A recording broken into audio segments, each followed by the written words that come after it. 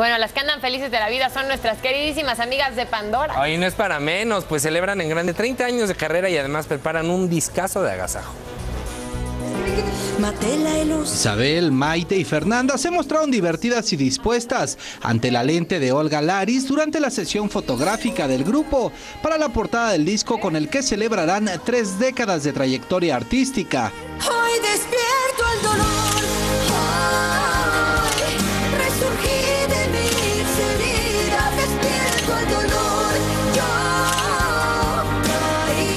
Pandora no todo fue miel sobre hojuelas y así lo explicaron.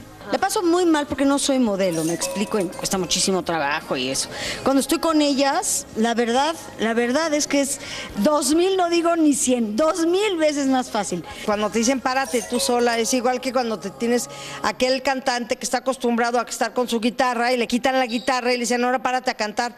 Pues las manos le sobran. Ya superado el nerviosismo, las intérpretes de Cómo te va mi amor, solo él y yo y No lastimes más, entre otros muchos éxitos, compartieron que muy pronto lanzarán el disco con temas inéditos, con el que celebrarán sus primeros 30 años de trabajo. Nos atrevemos a decir que es un sonido que desde nuestros inicios ha existido, ¿no? Ese, ese color de voz pandoresco, ese juego de voces que estamos haciendo, tiene, tiene esa similitud con nuestros discos primeros. Tiene una vibra muy especial el disco porque estamos en este. O sea, no es lo mismo que yo te vea aquí a que nos pongan un vidrio.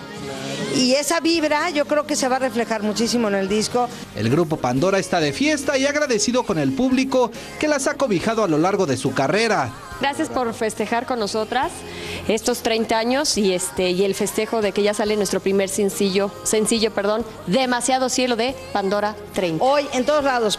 En la cámara, Francisco Chávez, Televisa Espectáculos, Eduardo Meléndez.